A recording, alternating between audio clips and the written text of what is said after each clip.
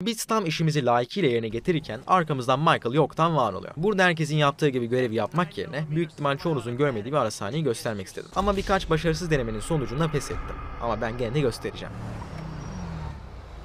This don't look like the way to no credit alley to me. Shit, man, with traffic and all, this way is fast. Dumb move, kid. İşte bu sayede Franklin, vasat hayatını bir anda düzeltecek olan Michael asla tanışmamış oldu.